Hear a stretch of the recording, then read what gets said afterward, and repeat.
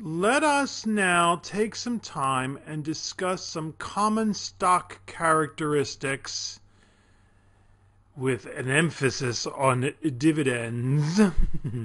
Slide number 61 a stock spin-off. What is a stock spin-off? Well, that's a conversion of one of a firm's subsidiaries to a standalone company by distribution of stock in that new company to existing shareholders. So, so the, the company is saying, hey, it makes sense for us to split into two or three parts. And you, as a shareholder of the original company, get to keep your shares, but then you get shares in the new company or companies. Sometimes the new company is still majority owned by the company that spun it off. You see, they're not dumb. If they see their young child going off into the world, but they see very good things for it, they'll hang on to quite a bit of the stock. Recently, uh, Kraft, you've heard of them? They were spun off by Altria. Altria, who, that's the that's the name for Philip Morris. They changed their name, I don't know, about 10, 12 years ago and they owned Kraft and they owned Miller. They spun that off, but they still own quite a bit of that company. And why did they do that? Why did they spin off Kraft? Well, there were many people who just simply will never buy a tobacco company. But here was a tobacco company that owned the world's second largest food company at the time. And so they said, well, this is kind of um, limiting ourselves. Let's spin off Kraft so that people who don't have a problem buying food companies can buy it. They then, Altria, divested themselves of the international tobacco business, and that company is now called Philip Morris International. And to give you an idea of how topsy turvy the world is, Philip Morris International is based in the United States, but sells cigarettes outside the United States. Altria is the company that sells the cigarette, the Marlboro, in the United States. Plus, Kraft has now spun off. I, I have a hard time. It, it, looks French. It looks Mondelez, but they they pronounce it Mondelez, and that's the company that now uh, runs all the snack foods like Oreos and Triscuits and the thing. So, oh my goodness, it gets crazy. The history of spin-offs has been checkered. Some spin-offs have spin-offs have done better than the companies that spun them off. And a tremendous example of this are the Baby Bells. Many of you before you were born uh, uh don't don't know this before you because it happened before you were born. But AT&T used to be one big company, the telephone company here in the United States. And in 1984 they broke it up and we had AT&T and all the Baby Bells um, the baby bells were Pacific Bell and Bell South and Ameritech and and uh, and uh, what was the one that became Verizon? Bell Atlantic and and the one that became AT&T. The new AT&T was called SBC Communications. And what happened is they started buying each other up and now we basically have two of the original baby bells who have gotten huge. That's Verizon and SBC Communications. And SBC Communications got so big that they bought AT&T, the old AT&T, just to grab the name. Believe that. Anyway, figure that one. Now, some spin-offs have not done so well. Coca-Cola Enterprises, which was spun off from Coca-Cola, Coca-Cola Enterprises is the company that actually bottles the, the, the, the Coke. They don't make the Coke, they bottle it and Lucent Technologies, which was uh, used to be called Western Electric Bell Labs. They were part of AT&T, and they were spun off from AT&T, and they've been examples both of disappointments. So often they do well, but sometimes not so well. A stock split on slide 62. Now this is this is important, folks, because there's a little bit of, uh, of intrigue going on here. A stock split is a maneuver in which a company increases the number of shares outstanding by exchanging a specified number of new shares of stock for each outstanding outstanding share. So uh, there are lots of different stock splits, but two for one is typical. You have 100 shares, and one day we, you wake up and you now have 200 shares. Yippee! No, no, no. The price went down from $20 to $10. So sure, you're getting more shares, but the price just goes down commensurate. Did I say that right? commensurate with the number of shares that you, uh, additional shares that you received. And there are three for one splits, three for two splits, one for five splits. You know, a reverse split it's called. Just simply put, there is no increased value from stock splits. If you had one share at $20, you now ha- have two shares at $10. The value is still 20 bucks. It is a psychological increase at best. And there used to be a technological reason, a a reason to have the stock split just because it made trading in 100 share increments easier and that's when people did face to face trading. But we don't do face to face trading anymore. It's all electronic so what do you care? You the answer is you don't. And the sage of omaha warren buffett since the 1960s has always thought that this was an accounting gimmick that he really disliked. So he refused to split his stock uh, berkshire hathaway since its inception, he has refused to split the stock, and consequently, subsequently, a single share now goes for around $145,000. And you say, oh my goodness, that's outrageous. But no, that's typical. If GE or Coca Cola or these other long standing large companies that have been around for decades and will continue to be around for decades, if they had refused to split their stock since their inception, a single share would go for whatever, 100,000 or whatever. So you we will see fewer and fewer splits now because of there's not the need to to do it for technology. Um, sometimes you see a company split their stock at least this is what this is what I think. I don't, I don't know if I'm right, but it sure seems that way. When they believe that things are looking good, and they're trying to tell the world that yeah, we, we things are looking pretty good for us. Now, why did they split the stock? to do that. And why don't they just come out and say things are looking good? Because Regs, you know why? Because if they say things are looking good and then they don't turn out so well, they can get sued by by ambulance chasing lawyers saying, You are, you told these people you were trying to deceive them. We're going to sue you. Pay us $100,000 to go away. So they will split the stock as a way of saying, you know, things are looking pretty good for us. Uh, I noticed that happened a few years ago with Qualcomm. Uh, they split the stock for no apparent reason. I mean, it didn't need to. It wasn't even trading that high and and then it turned out that the next few years Qualcomm did pretty well. They were they internationally they were increasing their uh, market share and the like outside the United States. Did very well for themselves. So so watch for those stock splits, but remember they don't mean anything. But do you have to understand them? Yes, you do. Right. You have, now have twice a two for one split. You now have twice as many shares at half the price. Slide number 60 Three, Treasury stocks. Hmm, what is tre- not, nothing to do with the United States Treasury, folks, or Treasury bonds or anything like that. Treasury stocks are shares of stock that have been sold and subsequently repurchased by the issuing firm. They're sometimes called share buybacks or just simply buybacks. And share buybacks reduce the number of outstanding shares. Now, now why would a company want to do this? Well, the logic being that after the buyback, there is less supply of outstanding stock. Hmm? Right. Existing shareholders now have a larger percentage ownership of the corporation. Exactly. And you econ students, what happens when you reduce the supply of a certain item? Assuming the demand doesn't change, the price should rise. Exactly. During the run up of the 1990s, share buybacks were often seen as a better alternative to dividend increases. The belief was that investors were more interested in capital gains than dividends, and that Buybacks increased the potential for capital gains by reducing the supply of stock.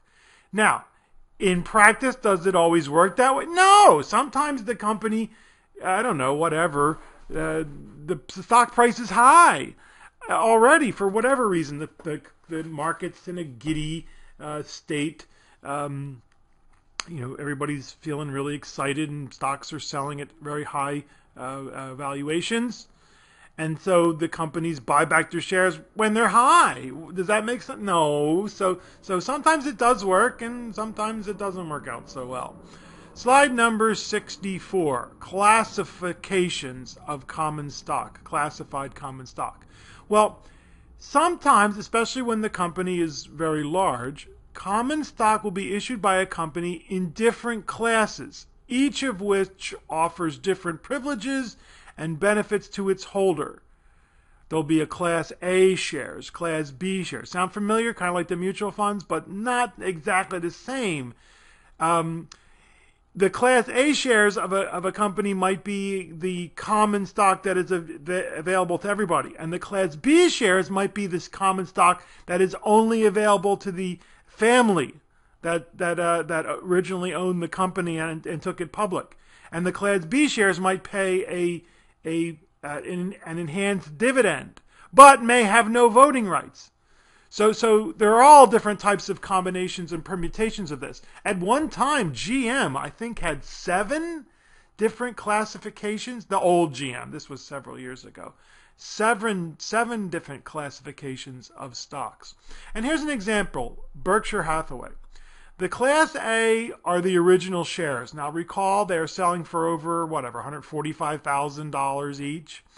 Well, that makes it difficult to buy a share, doesn't it, for for the uh, for the lowly uh, little people like you and me. And so the financial world pressed Warren Buffett to offer a lower cost version of his stock. He didn't want to do it, but he went out. He went. This was 20 years ago or so, and um, he did it and he said, all right, we'll make a Class B shares, but they'll sell for $3,000, $3,300, which not what the Wall Street folks had in mind. In the prospectus, Buffett said he wouldn't buy them. So here's a guy who's coming out with a new classification of his company stock and telling people not to buy it. That tells you that this man is an honest man. But you know, he he was sort of doing it to to make the, the investment world happy. And then it turned out that he actually, it worked out for him well, very well, because he wanted to use his shares as a way to buy other companies, which is typical. People, companies will use their shares as a form of currency because you know, whatever they're worth, they're worth, whatever the market is uh, willing to pay for them. But the problem is when you have currency that is in such huge increments, 145,000 or 30 fourth, whatever it, whatever it had gotten up to. I forget exactly what it had gotten up to.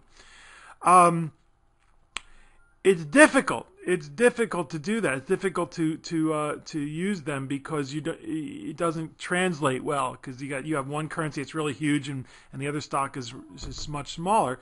So he recently split those Class B shares forty for one. 40 for one so that he could use them as currency to buy other companies. And so now they sell for around around $98 last time I checked. So he now has a stock that you and I can buy. But wait a minute, wait a minute, folks. Can you and I actually buy the Class A shares? It turns out we can. There are companies that have gone out and bought Berkshire Hathaway shares at 100 whatever, 140 or whatever they are happen to be selling at. And then if you come up with a couple thousand dollars, they will just simply sell you 0.05 shares. Do you understand? they will break up the shares into little bitty pieces in the thousands and sell you thousands of the shares. And they do the bookkeeping, and I'm sure they charge you for accordingly because they're doing the work. So, uh, so yeah, you can even if it even if the price goes way high, out of the reach of the little people, we, the little people, can still buy the shares. Slide number 65. Now, some common stock values. We will do a few calculations in Chapter 5, but the vast majority of our calculations are going to be done in Chapter 6, and we'll discuss valuation in detail when we get to chapter six. But what you will see are, are some numbers that, some of which are meaningless. For example, par value. This is the stated or face value of a stock.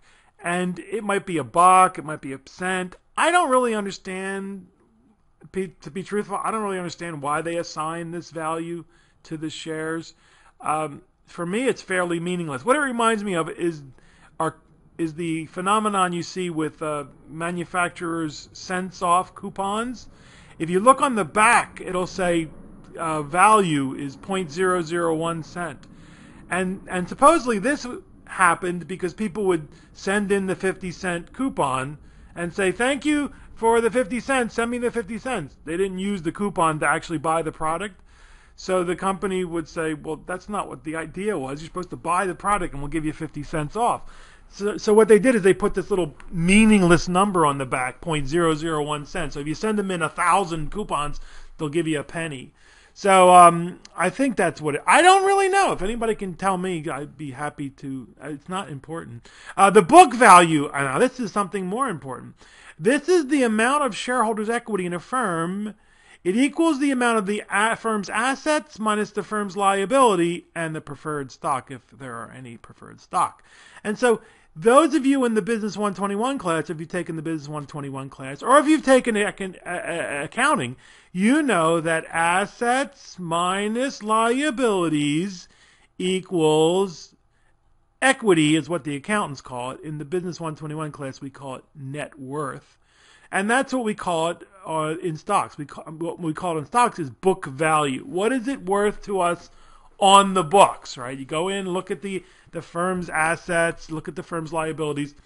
Now, this number is reported in the media, and I ask you to look it up in Chapter 5 assignment. It's under Key Statistics if you use Yahoo, folks. And what you will find is it is almost always far less than the actual market value, the price, the prevailing market value of the security. And why is that? Why is the stock worth more in the open market trading uh, between investors than the book value? Well, that makes perfect sense when you think about it. When you think about it, a small company such as a pizza shop or a shoe shine shop or whatever, the value of the assets minus the liabilities is normally not that big, depending on the company. It's usually, I mean, the pots and the pans, the the the tableware. They don't usually own the building. The pizza shop doesn't. They rent that. So, doesn't it make more sense for the company to be intact than uh, than if you were to sell off all the assets, but pay off the liabilities, and walk away? And that's obviously the case for the mass, vast majority of companies. When it is not the case, when we see the book value go above the market value, that's usually a very bad sign. That means the investors don't believe that the company is worth what's on the what the assets are in in what it possesses.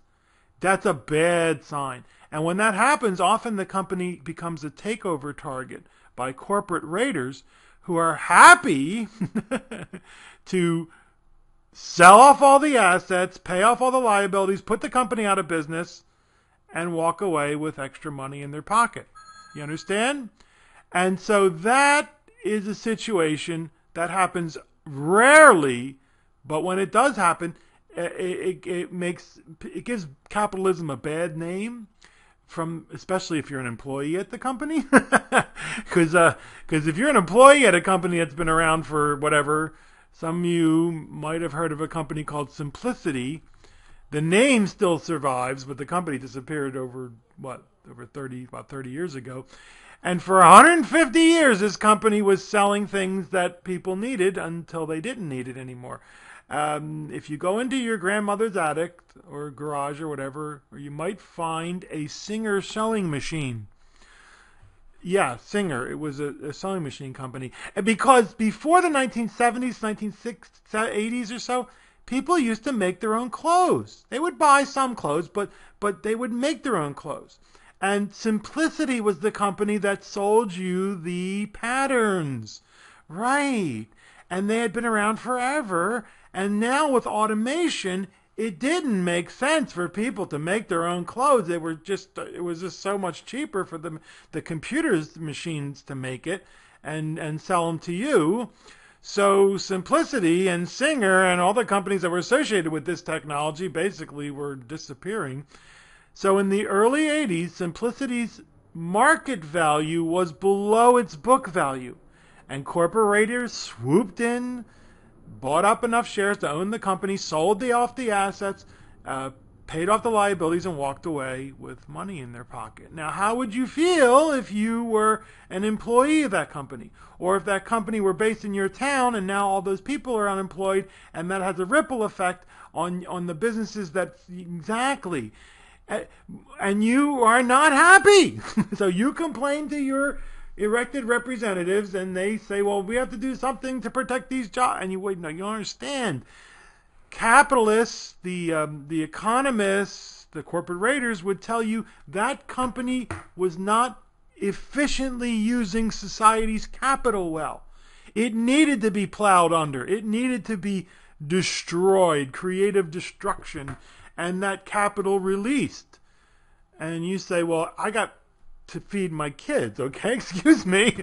And that is why we have unemployment insurance, folks. We want companies to be plowed under. We want that capital to be unlocked. But at the same time, we want people to be able to put food on the table. So, so you, it, these systems that we've put in place sometimes there there are always unintended consequences, but Uh, especially when there's a prolonged downturn, as there has been the last several years, we're not using unemployment insurance as a way to not to pay people not to work. That's not the the idea. The idea is to have that safety net so that we can put people out of work and have them find a better use for their time and a better use for the capital that was locked up. Makes sense? Okay, enough for the lecture. Oh, let's continue. Slide number 66. Dividends. Oh boy, don't we love dividends. These are shares of earnings given to stockholders. Um, they're normally paid quarterly in the United States and com- countries that that were either previous colonies or had something to do with the United Kingdom, the England. They are paid quarterly. Canada, Hong Kong, Australia.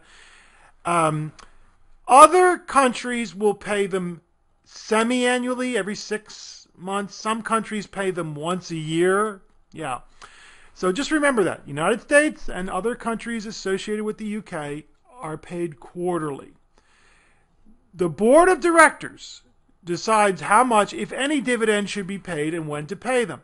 So, so, so, so remember, dividends are not mandatory, unlike interest payments from a bond right? Those are mandatory. If you don't, if the bond issuer doesn't pay the, the bond interest, then they're in default and they could be dragged into uh, bankruptcy court. Uh, dividends are usually a percentage of the earnings per share.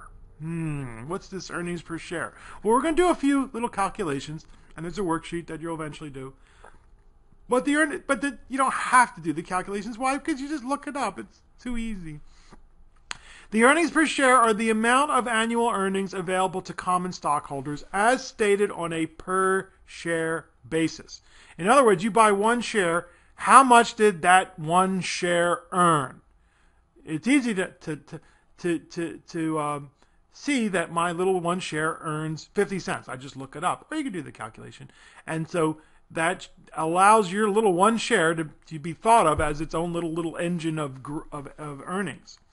So slide number 67. Here's an example of earnings per share. We have a company that reports net profit of a million dollars. Yippee! Is that a lot of money? Well, to you and me, it's a lot of money, but but is it a lot of money with regard to how many shares are outstanding? Well, we have to know that. There are 500,000 shares outstanding. So we take the earnings divided by the number of shares, $1 million of earnings divided by $500,000 shares, 500, I'm sorry, did I say 500,000 shares? My apologies. And we have $2 earnings per share. Now, the board of directors might decide to pay out 50% of the earnings per share in the form of dividends. That's their decision. Therefore, each shareholder would receive a dollar dividend for each share they own. You own one share, you get a buck. You own 10 shares, you get $10. 100 shares? Exactly. 100 shares, $100. This is called the dividend payout ratio. The company is paying out 50% of their earnings to dividend shareholders in the form of dividends. And that's easy to compute, right? A dollar of dividends divided by $2 of earnings. Now, what's typical? 50% is not unusual for companies that have been around for a long time and are not growing. But companies that are growing usually very uh, are very reticent to pay out the money in dividends. Why? Because they need it to grow the company. So so you'll see 50% is not unusual, 30% not unusual. It's unusual it gets over 70 or 80% unless the company just has cash coming out of their ears. they don't know what to do with it, and they've been around a long time, and they just decide, okay, it's time to give it back to the to the, to the owners of the company. Uh, slide number 68, dividend yield, very important number. We will you're going to look up dividend yield, and we will discuss this vis-a-vis other investments. The dividend yield is a measure that relates dividends to share price and puts stock dividends on a relative percentage basis rather than an absolute dollar basis. You see, it's great to know that you're getting a buck per share, but we need to relate that to how much we had to pay for that dollar. If the stock in the previous slide that was paying a dollar dividend, if that were selling for $20, the dividend yield would be 5%. And it's a very simple calculation. And again, you don't have to do it. Be, I mean, I'm going to ask you to do it, but you just look it up. A dollar dividend divided by $20 price, if the stock were selling for $20, that would be a 5% dividend. And why is that so important? Well, because it makes it easier or easy to compare stocks with other income oriented vehicles such as bonds or savings accounts. So you could say, yeah, my bond is paying me 3%, but this stock is paying me 4%. Well, what's the difference between the bond and the stock? Right. The stock dividend is optional. The company next quarter, if they're in the United States and they pay quarterly, they could just say, we're not going to pay it. Whereas the bond has to continue to pay that, that dividend. Traditionally, and I want you to remember this, 3 to 6% was normal. That was normal. Is that normal now? No, it's about 2 to 3%, you know. In the 1990s, dividends went to 1% or less. In 2000, March of 2000, at the height of the stock bubble, they went to 1%. Uh, uh, we're talking about the Standard & Poor's 500 now, the 500 largest companies in the United States. Some companies paid zero, some companies paid, some companies paid more. Dividends then went above 3% in the 2008 to 2009 turmoil, and now they're back down to just above 2% or so. But remember, some companies pay uh, very healthy dividends, and some companies pay zero dividends. And there's always this tug of war. Uh, people love dividends. Well, not many of us. I love dividends. And other people say, no, no, no, don't pay out dividends. I want you to reinvest the, the, uh, money back in the company. And if you can't do that, buy back the shares. And that's because I want capital gains. I want uh, the company's price, the stock price to go up. Uh, so you see the, the tug of war that companies have to deal with. Slide number 69. Now let's see if you can stick with me on this one, okay? It's a little tricky, but for the most part, it's pretty meaningless. There are important dates with regards to stocks. There's the declaration date. Now, that's the date that the board of declare, direct, directors declares the dividends. And they say, today we are declaring that we are going to pay dividends, you know, in, in, the, in a few weeks in the future. They, they don't do it the same day. And, and that's to give people opportunity to, to digest that information and decide if they want the dividend, they could buy the shares. If they don't want the dividend, they can sell the shares and they declare a date of record. This is the date on which an investor must be registered shareholder of a firm to be entitled to receive the dividend. So we're going to set, I, forget, I think I did June 18th. I do June 18th on the next slide. I remember, forget, remember. We're going to set a certain date, and you have to be a shareholder of record to receive that dividend. Now, Hmm, what's going on here? The next one is called ex dividend date. This is three days before the date of record. You have to own the shares or buy the shares three days before the date of record. And this is the actual date that determines whether one is an official shareholder of a firm and thus eligible to receive a declared dividend. Ex dividend is three days before. Now, why is that? Hang on a minute. We'll discuss that in the next slide. The last one is the payment date, and that's the actual date. That's a couple of weeks later after the date of record of which the company pays the dividend. Okay, so that's the actual date that you get the money, and that's not for a few weeks after the uh, the uh, date of record. So now, slide number 70. Why is the ex dividend date three days before the date of record? Well, that's because stock transactions close in three days. You buy the stock on June 15th. You actually do not get the stock until June 18th. It used to be five business days. It used to be, now it's three business days. And they could probably sometime in the future because now everything's electronic they'll lower it again. But it's three business days. You buy the stock on June 15th, you don't actually get it until June 18th. So theoretically, this is theoretically, folks, the opening share price on the ex dividend date should reflect a drop in price commensurate. No, that should be commensurate. I got to change that. Commensurate with the amount of the dividend. I knew I didn't say it right the last. I did say it right the last time, but I didn't say it right this time. I have to change that commensurate, not commis- commiserate, is when you, you, you, you sit down with somebody who just crashed their car and you say, "Oh, I'm so sorry." That's I gotta fix that. If there is a dollar per share dividend, the opening stock price should be reduced by a buck. You understand? Because they're going to take a dollar out of their piggy bank and send it to each shareholder that owns one share, right? So they're going to whatever many shares they have to pay. But that doesn't really work that way, right? Because the, the, the prices are changing all the time. So so this is just theoretical. Next slide, slide number 71. Don't buy the dividend is a common saying in the industry. The translation is you are often better off waiting until the ex dividend date before buying a stock. Why? Here's the logic. Now, I don't, I'm not saying I agree with it, folks. I'm just telling you this is what you're going to hear, and this is what people are going to tell you, and then you have to decide whether or not you, you think it means anything. I, I think in the long term, it doesn't mean much of anything. But here's the logic dividends are taxable transactions. If you buy the dividend, you buy the stock just before the ex dividend date, you will be responsible for paying the tax and presumably the stock price will fall commensurate with the amount of the dividend. So you are better off waiting until after the ex dividend date so that you will get a stock get the stock at a better price and not generate the taxable transaction. Now, sure, if you have tons of money and you're moving it around just to make money on individ- small little movements, first of all, you're going to get killed with transaction costs, in my humble opinion. But whatever.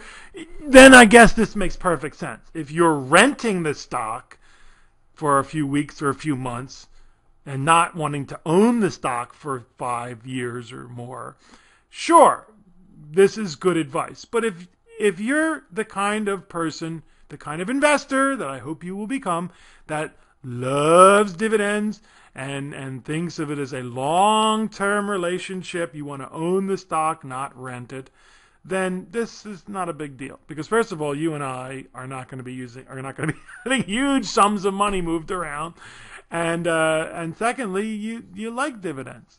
Uh, if they're in a retirement account, you don't care because the IRS doesn't come calling until you retire anyway. And if it's in a Roth, then they never come calling. So there you go.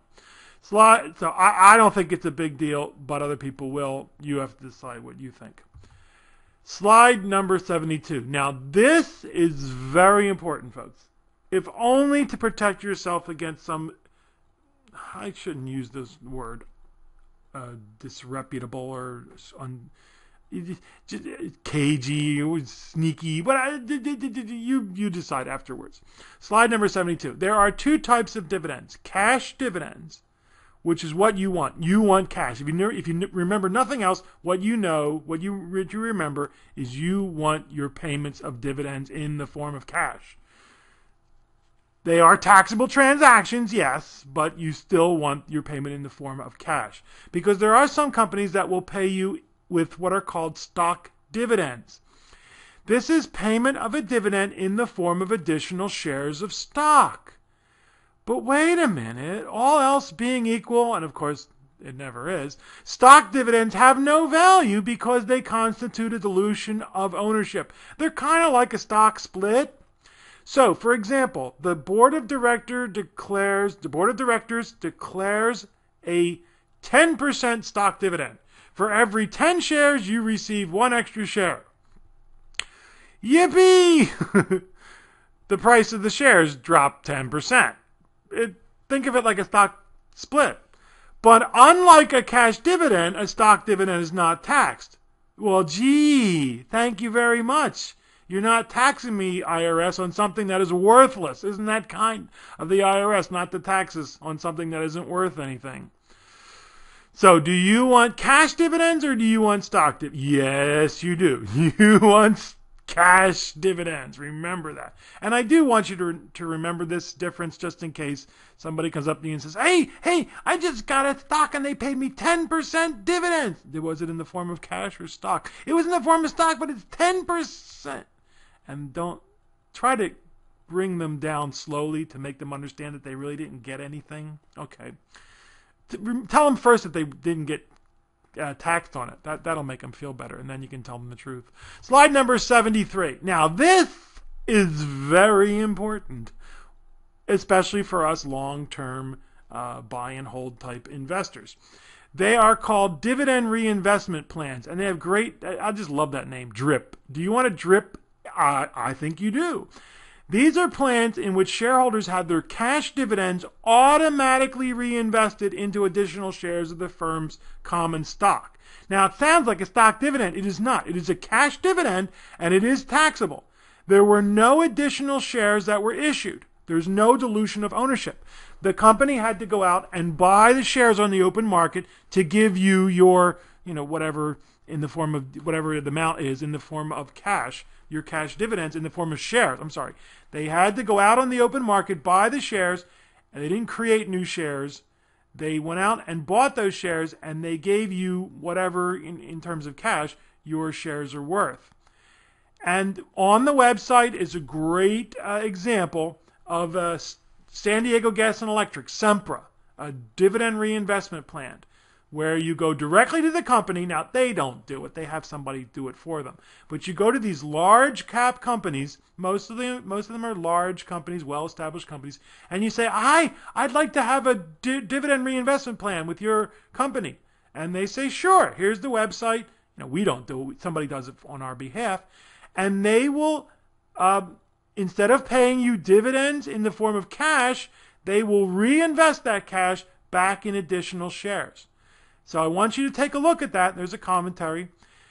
Drips are an excellent way to own stock for those interested in a long-term growth and are not, in, not don't need the current income. They don't need the dividends to live off of. It allows the investor to take advantage of compounding automatically with normally no or very small transaction costs. It, the the, uh, the the drip that I belong to with another with a group of uh, other investors in the club I used to belong to, we would sometimes get hit with six per, six cents, six cents, folks, or nine cents, because it just cost them so very little to run this this program, and they they took the costs and, and they put them on you, but still, it was it was nothing. And investing in a company like General Electric or Johnson and Johnson or Berkshire Hathaway, Warren Buffett's company, in this way is almost like investing in a mutual fund because mutual funds automatically reinvest the dividends and the capital gains back into the mutual fund. So you could think of stocks that are large companies that have many different divisions and many different um, uh, companies within the company as a mutual fund. And a very, very great way to build wealth slowly over time. And so, do you remember the slide that showed you, you know, a dozen years or 25 years or 16 years where the stock market basically, as measured by imperfect measurements that we talked about in the previous presentation, do you, do you see how now we can we can uh, have optimism during those long periods where the market, as people say, doesn't do anything, even though it went up and down like crazy? Right. We don't care about that. We simply buy high quality companies on a um, uh, periodic basis as the money comes in 50 bucks 100 bucks more if we can afford it and we allow the dividend reinvestment plans to reinvest the dividends in more shares and we can make money even when the market doesn't do anything how could you be invested in stocks they haven't done anything in 15 years oh yes they have they've been paying me dividends Okay, well, all right, enough for that. All right, so you see, as Mr. Rockefeller says, you know what gets me excited is when my dividend checks come in. Slide number 74. Let us end this uh, third um, presentation of Chapter 5 with a, the introduction to price to earnings ratio. Now, we've already discussed price to earnings ratio a little bit, and I told you you wouldn't understand. That was back in Chapter 4. And we're going to spend a lot of time talking about this puppy, folks, because this is the most watched stock market statistic. The price divided by the earnings, the PE ratio. Uh, sometimes written as P slash E, sometimes just written as PE. It's a very simple calculation, and again, you're going to learn how to do it, but it, you just look it up. Price divided by earnings per share. So if we go back to the previous example and we had $20 price and $2 earnings per share, that would be 20 divided by 2 or 10. Now don't put dollar sign, don't put a percent sign. It is unitless. So just put the number. But if you, you know, a lot of you put the dollar sign or the percent sign, don't do it. Uh, 10 PE. Now is that high? Is that low? Well, traditionally stocks sold for PE ratios of 5 to 15, 5 to 14, 7 to 14. And a PE of 20 was only reserved for the fastest growing stocks. Well, during the 1980s and 90s, and in the late 1920s and then late 1960s, PEs that were higher of 20 were not unusual. And then when the organic matter hits the ventilating device, the PEs come down drastically and in the 2008 turmoil, PE ratios came down greatly. So we will discuss PE in much more detail. What you know for now is that it's price divided by earnings per share. That's the calculation I'm going to ask you to do. One or two. It's not that hard to do on the worksheet. Number two is it? Worksheet number two. And typically was 5 to 15, but more and more you see 14, 15, 16. I'm going to ask you to look at this up, right? And then for fast growing companies above 20. Okay? When we come back, we'll finish up chapter 5 with discussing the different types of common stocks and some strategies for investing. Study hard, folks. I know it's a lot of material, but you've got to do it every day. Listen to the presentations, watch the presentations, read the book, make notes for yourself, and and study because it, it takes repetition. You just some there are some people, few people who once you they hear something, once they read something, boom, they have it. I ain't one of them, and there are not that many of them. It's less than 10% of a population usually sometimes up depends on the population but usually it's less than 10% of the population. Most all of us regular people must repeat must study and that's how you learn. Do well folks. Study hard and bring honor and glory to southwestern community college. See you in the last and final the next and final presentation of chapter 5